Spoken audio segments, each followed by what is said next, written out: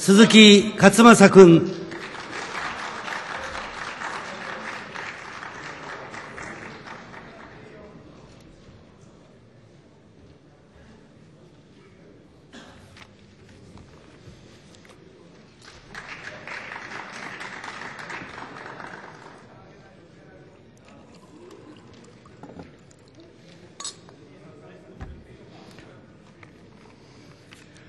私は生活の党を代表し、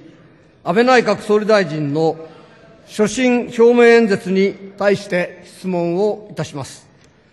まず冒頭、アルジェリアで発生したテロ事件でお亡くなりになられた方々のご冥福を心よりお祈り申し上げます。また、突然のことであり、ご遺族、ご関係者のお悲しみはいかばかりかと拝察し、深く哀悼の意を表します。世界の最前線で活躍する尊い命を失うことは、企業のみならず、我が国にとっても大きな損失であります。私たち生活の党は、政府がご遺族、ご関係者の方々にご支援を図ることに対し、できる限りの協力をさせていただきます。それと同時に、今後、同様の悲劇を繰り返さないために、今回の事件への政府の対応について、しっかりと検証し、必要な提言をしてまいりたいと存じます。しかし、政府がこの悲劇を悪用し、憲法の解釈をねじ曲げて、自衛隊の海外での戦闘を合法化しようとするのであれば、そのことだけは断固として阻止しなければなりません。確かに主権国家にとって自国民の生命と財産を守ることは国家の義務であります。しかし、歴史を見れば明らかな通り、いつも戦争は自国民の生命や権益を守るために軍隊を派遣することから始まっているのであります。国際紛争を一国の軍事力によって解決することは不可能であるだけではなく、さらに紛争を大きくすることを歴史は示しています。最近のイラクやアフガンの例を見ても明らかな通り、世界最強の米軍を何万人投入しても、決して民を安定させることはできないことが証明されております。私たちは国際法に基づくより良い解決策を模索しなければなりません。人質になって日本人の命が生まれ失われたことで、海外派兵の道を開くような議論は、平和主義の基本理念に反するとともに、私たちが国際社会で生き延び、平和のうちに繁栄していく上で、極めて危険で短絡的な発想だと言わざるを得ません。そこで安倍総理にお伺いいたします。総理は自衛隊の海外での戦闘を合法化しようとして考えているのでしょうか。また、どのような状況と条件のもとにおいて自衛隊を自国民救出のため単独に海外に派遣すべきと考えておられるのでしょうか。具体的にお答え願います。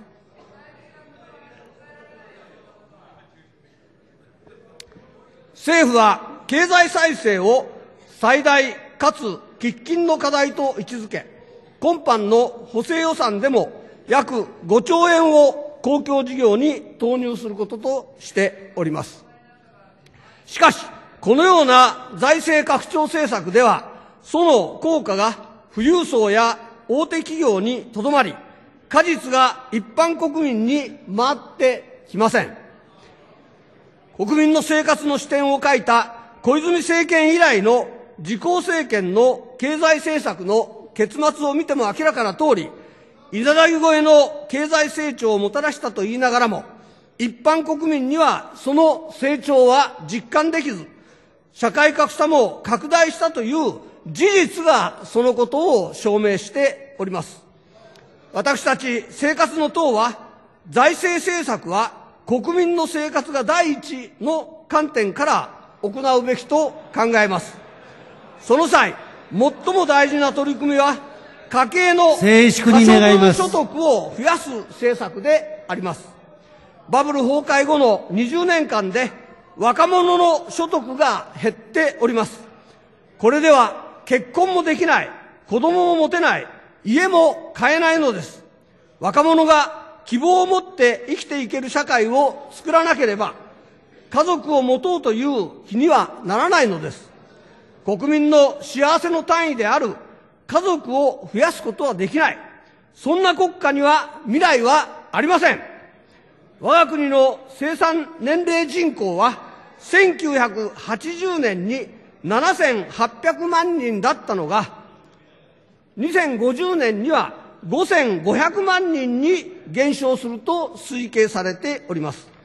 一方で、海外を見ると、中国は1980年の5億8300万人が2050年に7億9000万人に、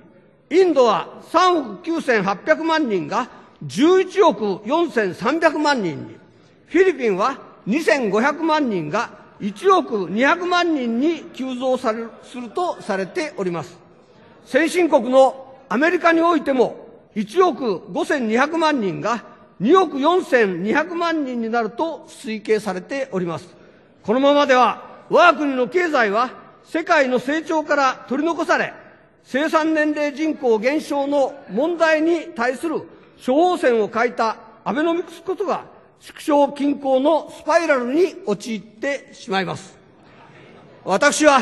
日本を元気にするために一番重要な取り組みは人口の増加策であります。そのためには家族の生活が第一の目線で日々の生活の負担を軽減させることが必要不可欠と考えます。ところが安倍政権では民主党政権で行ってきた可処分所得を増やす結果となった子ども手当や高校授業料の無償化を見直すとしております。子供を持つ家族にとって一番負担になっているのは教育費であります。この負担を取り除くような家族重視の分配政策を取ることにより、個人消費は拡大し、経済も自律的成長に向かうようになります。家族の生活を第一にする国であって、初めて家族が増え、人口が増えていくのではないでしょうか。そこで安倍総理にお伺いいたします。子ども手当の充実、高校授業料の無償化の継続、そして家計の可処分所得を増やすための方策について、どのようにお考えでしょうか。また、生産年齢人口減少の問題に対する対処方針についても、合わせお聞かせください。また、今般の補正予算による約5兆円もの公共事業により、短期的に景気浮揚効果を演出し、消費税増税の前提となる経済成長を達成しようというのが政府の本音ではないでしょうか。しかし、公共事業の増額により景気浮揚を目指す一方で、消費税増税により景気を冷え込ませることになるような手法は、いわばアクセルとブレーキを同時に踏むようなものであって、非常にちぐはぐな政策であると言わざるを得ません。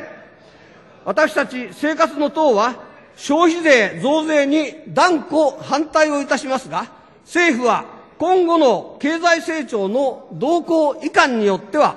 消費税増税を中止する覚悟が本当にあるのか、安倍総理にお伺いいたします。明確にお答えください。私たち生活の党は、自立と共生の理念と国民の生活が第一の原則に基づいて、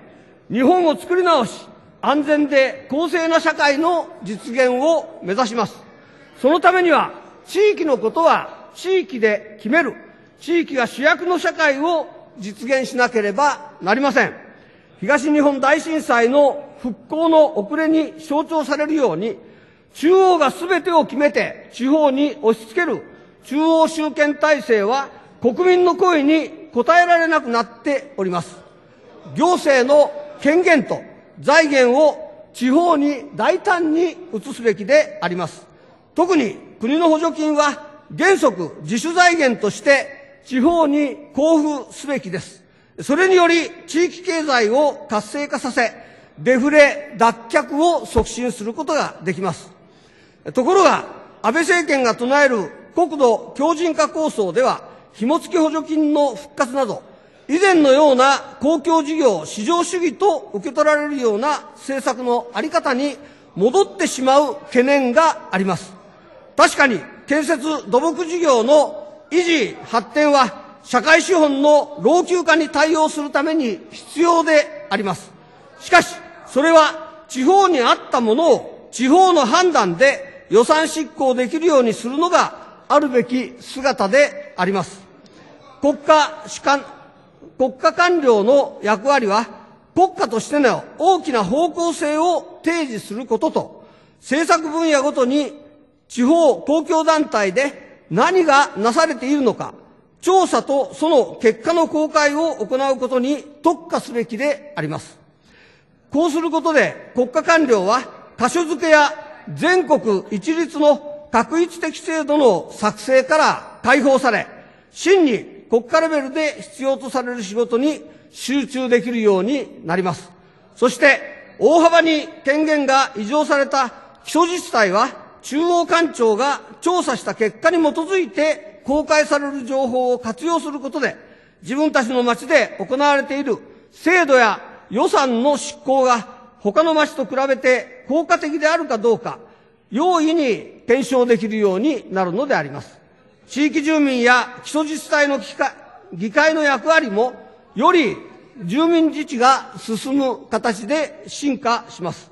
このプロセスを通じ、標準的な地方行政のコストも明らかになり、国の持つ財政調整機能を適切に発機能させることもできるようになると考えます。このように大胆な統治機構の改革を行い、予算執行の仕組みを変えることで、地域で必要な事業は地域の実勢を尊重する形で行えるようになるのです。これこそが真の意味での地域経済活性化を行う経済対策と言えましょう。このような大胆な統治機構の改革について、安倍総理はどのように考えるかお答えください。最後に、代替エネルギー対策についてお伺いいたします。残念ながら、安倍総理の所信表明演説には、エネルギー政策についての言及がありませんでした。しかし、エネルギー政策は日本経済再生を実現する上で最も重要な課題の一つであります。私たち生活の党はエネルギー政策の大転換で10年後を目途として全ての原発を廃止することを主張しております。そのために日本の省エネルギー技術と再生可能エネルギーの普及、効率の良い天然ガスコンバインドリサイクル火力発電、さらにエネルギーの地産地消を強力に推進する必要があります。愛知県渥美半島沖で始まったメタンハイドレートの海洋産出試験もその中の一つであると思います。これにより原発立地地域をはじめ地域経済の発展と雇用の拡大を実現することができると考えます。私たち生活の党は代替エネルギー対策の分野に大胆な公共投資を行うべきだと考えておりますが、安倍総理の見解をお伺いいたします。私たち生活の党は、国民の生活が第一の理念に基づき、命と暮らしと地域の三つを守ることを政治の最優先課題としております。そのために、政治行政、経済、社会の仕組みを一新して、日本を根本から立て直します。エネルギー政策の大転換、消費税増税の阻止、行政の権限と財源の地方への大胆な移行を実現するとともに、社会保障、雇用、人づくりの仕組みを作り直し、高齢者には安心を、若者には働く場を確保します。すべての国民が安心、安全で安定した生活を送ることができ、国民も地域も健全に自立し、互いに共生できる社会を実現します。それにより、日本は国家として自立し、世界の平和と安定に協力する外交を展開できると確信しておりますことを改めて申し上げ、私の質問を終わります。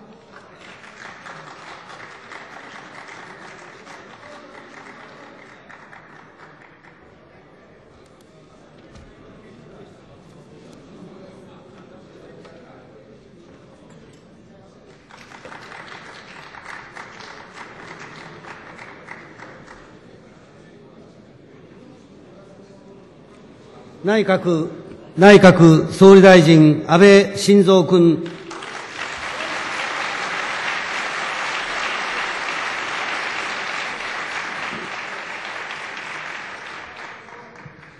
鈴木勝正議員にお答えをいたします。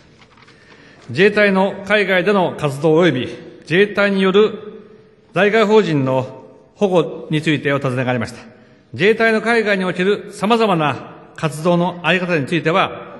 安全保障の法的基盤の再構築に関する懇談会の報告書も踏まえつつ、新たな安全保障環境にふさわしい対応を検討してまいります。また、在外邦人の保護については、政府の重要な責務であり、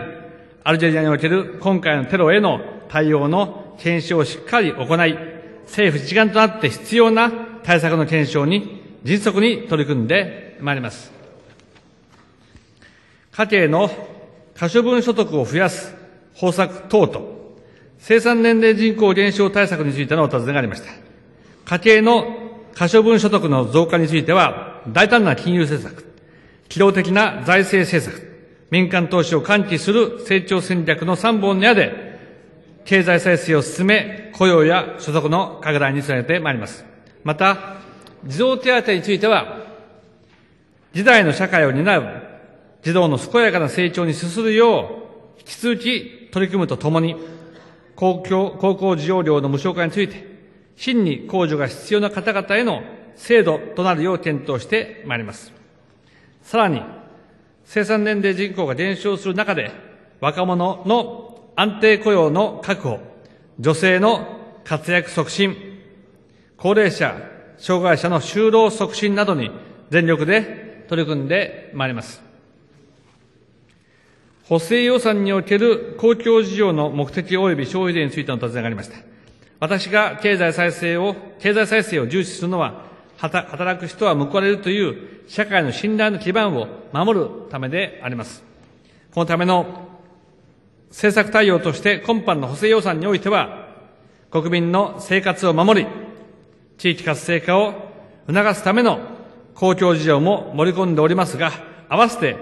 成長力強化のための施策等も講じております。また、今後は民間の投資と消費が持続的に拡大するよう成長戦略を策定して実行していくこととしております。短期的に景気浮揚効果を演出するものではありません。また、昨年8月に成立をした税制抜本改革法では、来年4月に消費税率を引き上げることが決まっております。ただ、機械的に何が何でも引き上げるということではなく、経済状況等を総合的に勘案して判断することとなります。いずれにしても、我が国経済を全力を挙げて再生してまいります。国と地方に関する統治機構の改革についてのお尋ねがありました。国は国家の本来的任務を重点的に担うようにする一方、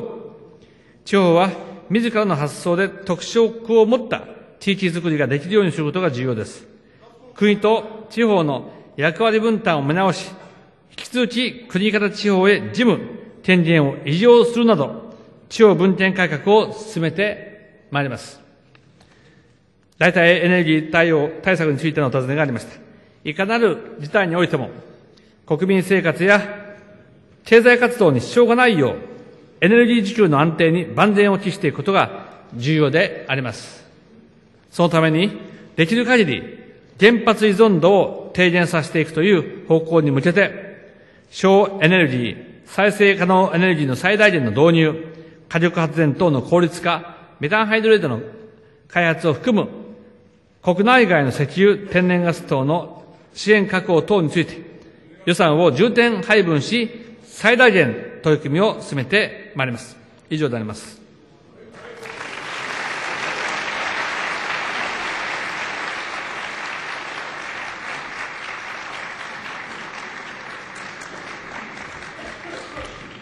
これにて国務大臣の演説に対する質疑は終了いたしました。本日はこれにて散会いたします。